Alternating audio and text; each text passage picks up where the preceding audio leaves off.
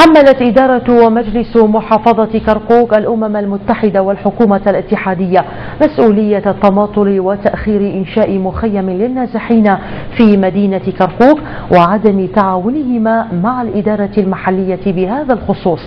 الإجراءات الروتينية التي تتبعها الأمم المتحدة أدت إلى تأخير إنشاء مخيم خاص للنازحين في كركوك رغم أن إدارة المحافظة عملت على إيجاد مكان ملائم لهم. العام الدراسي الجديد تم تأجيله لمدة شهر كامل وفق قرار رسمي من وزارة التربية العراقية كي يكون أول يوم للعام الدراسي في الثاني والعشرين من تشرين الأول بدلا من الثالث والعشرين لشهر أيلول الجاري. اتخذت وزارة التربية هذا القرار لكافة المحافظات العراقية عدا إقليم كردستان بسبب نزوح مئات الآلاف من مواطني المحافظات التي تشهد توترا أمنيا واضحا في بعض المحافظات العراقية.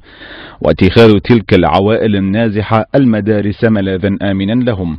التأثيرات السلبية الأمنية في عدم انتظام إسكان العوائل النازحة صرح بها رئيس اللجنة الأمنية في مجلس محافظة كركوك قائلا أن الأمم المتحدة تماطل في إنشاء مخيم خاص للاجئين بكركوك بقرار اللجنة الأمنية العليا وكذلك بالتنسيق مع آه، حكومة آه، المركزية في بغداد كذلك مع منظمة الأمم المتحدة.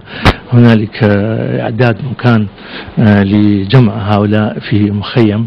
وطبعا هذا مماطلة الأمم المتحدة دون إسراع في عملية جمع هؤلاء النازحين. إشغال دوائر حكومية وكذلك المدارس مسألة لها أولوية.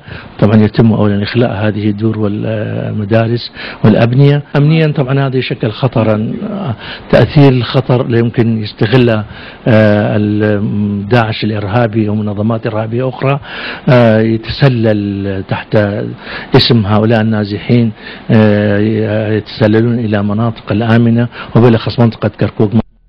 أحد أعضاء مجلس محافظة كركوك قال أن الإهمال واضح من قبل الحكومة العراقية والأمم المتحدة أيضا للتعاون مع الحكومة المحلية بكركوك لإنشاء مخيم للاجئين مضيفا أنه قام بإنشاء مخيم يسع لمئتي عائلة نازحة بالتعاون مع إدارة المحلية مؤكدا أن إدارة المحافظة والمجلس سيتخذون إجراءات أخرى في حال عدم اكتمال المخيم الذي يقوم به الأمم المتحدة. هناك إهمال من قبل الحكومة المركزية للتعاون مع الحكومة المحلية آه، لإنشاء مخيم.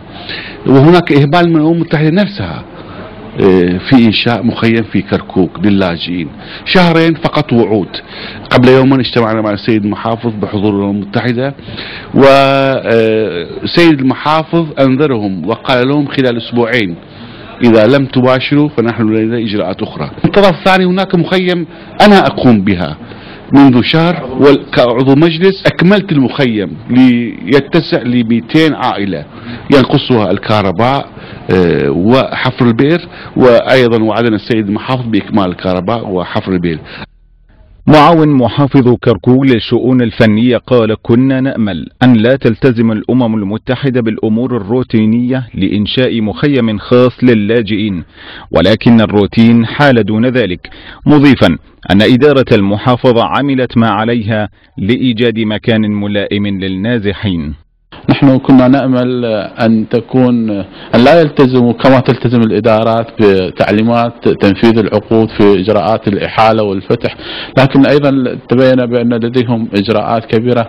نحن كإدارة كركوك من الناحية التي وقعت على عاتقنا بخصوص الاتفاق مع الأمم المتحدة جميعها أنجزناها ونحن بانتظار أن يباشروا بأعمالهم ونأمل آه، أن تشهد الأسابيع القادمة آه، البدء في والشروع بهذا المجال.